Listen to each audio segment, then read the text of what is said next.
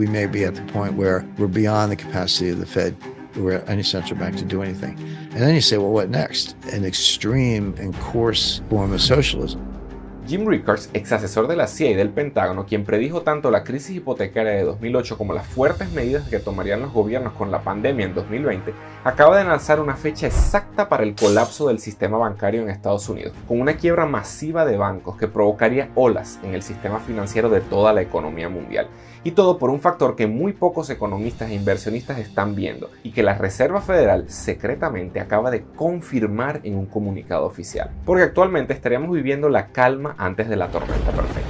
Claro, atreverse a predecir una fecha exacta para el colapso de la economía mundial podría parecer una locura, pero veremos sus sólidos argumentos uno a uno de forma sencilla y por qué esta gran crisis afectaría a las personas promedio, que no tienen por qué tener muchos ahorros ni grandes inversiones. Pero incluso si vemos los movimientos de la élite, podríamos notar señales de lo que se avecina, como por ejemplo la masiva venta de acciones de su propio banco que hizo el CEO de JP Morgan, el banco más grande de Estados Unidos y una de las empresas financieras más grandes del mundo. Así que imagínate lo que sucedería si un banco de esa magnitud. Claro, no sabemos con certeza si Jamie Dimon está vendiendo un millón de acciones que representan más de 150 millones de dólares porque está previendo ese colapso. Pero entonces, ¿será que es momento de sacar nuestro dinero de los bancos? ¿Podemos confiar en que estará seguro? ¿O tendremos que moverlo hacia activos como el oro, Bitcoin o los bienes raíces? Aquí te daré los datos claves que necesitas saber para que saques tus propias conclusiones, así que suscríbete al canal. Comencemos por ver por qué el panorama económico estaría listo para un colapso de esa magnitud. Para esto, Jim Rickards nos recuerda la absurda cantidad de dinero que empezó a repartir el gobierno de Estados Unidos y las demás medidas que tomaron los gobiernos en 2020 y 2021. Durante la pandemia vuelves a 2020, 2021, ¿qué estaba pasando?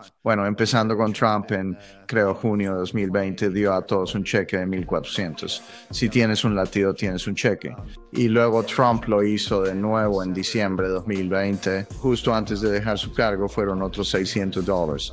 Biden entra y dice, bueno, puedo superar eso, y Biden lo hace en febrero 2021, justo después de que fue juramentado. Aquí viene otro cheque de 1.600.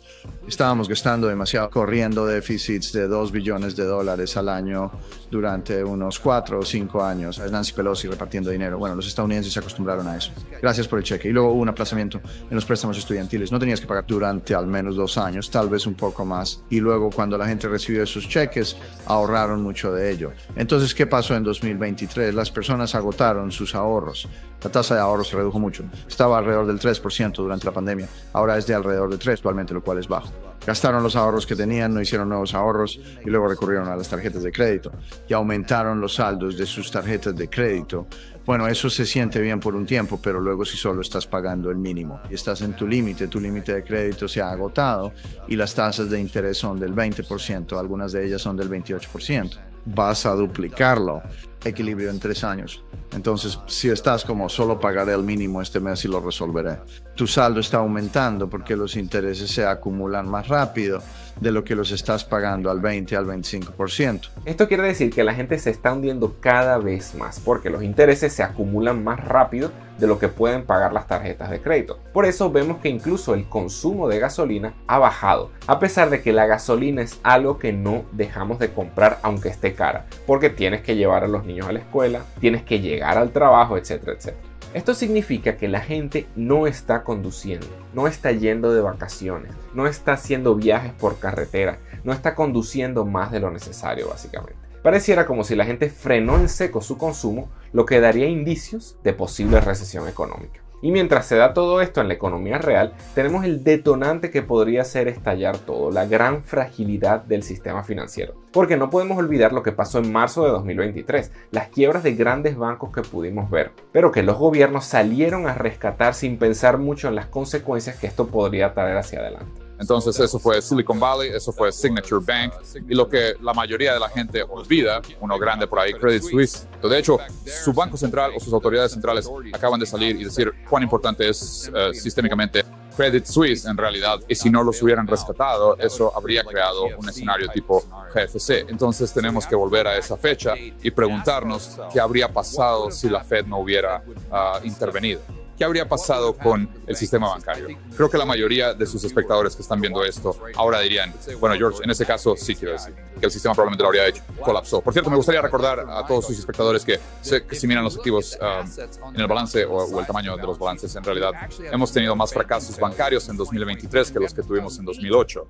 Entonces, que no sé cómo la gente puede decir que eso no fue una crisis o que de alguna manera uh, hemos uh, superado la crisis como si no fuera nada.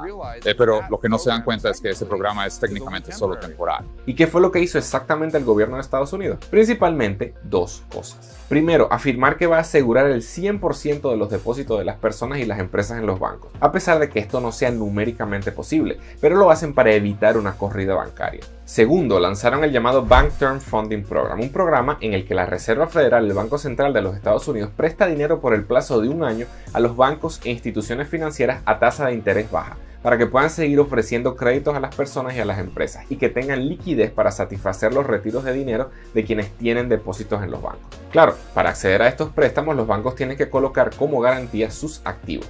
Eso significa que si un banco no puede devolver el dinero del préstamo, esos activos, sean de buena o de mala calidad, pasan a la Reserva Federal. Y ahí está uno de los problemas que ponen en riesgo la estabilidad financiera de Estados Unidos.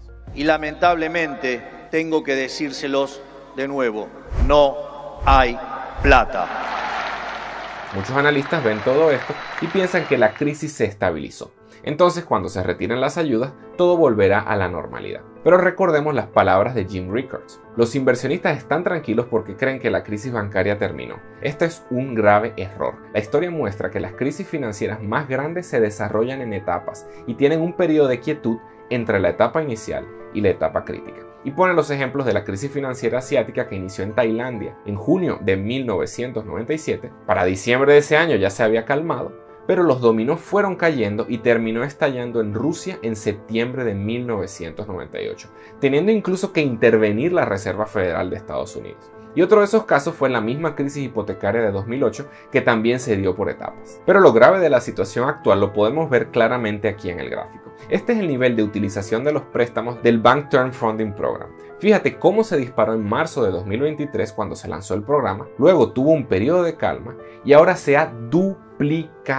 Estamos hablando de más de 160 mil millones de dólares que le ha prestado la Reserva Federal a los bancos y que sigue subiendo exponencialmente. La pregunta que tenemos que hacernos entonces es, ¿qué puede pasar si el gobierno no logra mantener esas ayudas que están sosteniendo a los bancos? ¿Qué pasaría si los bancos se quedan sin dinero y estalla un efecto en cadena en toda la economía mundial? El contagio se da de, varias vías. Una es que la gente vaya a sacar su dinero, que eso sería prácticamente catastrófico.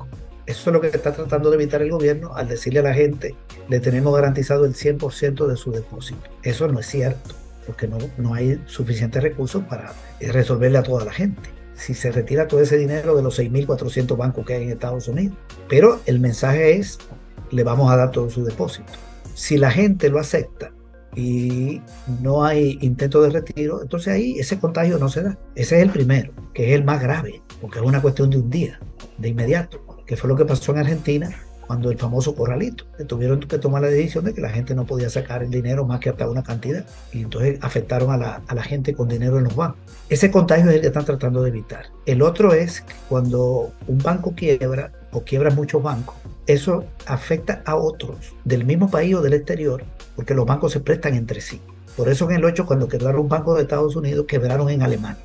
¿Por qué? Porque una persona vive en Alemania y tiene ahorro por 100 mil euros, digamos. Pero ese dinero, el banco alemán se lo presta a un banco de Estados Unidos, a una tasa de interés. Estados Unidos presta en Estados Unidos o en el exterior, gana dinero y le paga a un interés al banco alemán.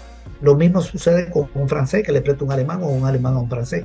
Hay préstamos interbancarios. De manera que si hay una quiebra de banco en un país, hay quiebra de banco en otro país que tienen dinero metido en ese banco. Eso pasó en el 8. En América Latina eso no tuvo mucho impacto porque la banca de América Latina es tan débil comparada con estos países que no, no tiene ese nivel de vínculo, de que un banco de República Dominicana, digamos el banco tal de República Dominicana donde hay dinero de la población, le esté haciendo préstamo al Banco de Estados Unidos. Es al revés, el de Estados Unidos sí le puede hacer préstamo.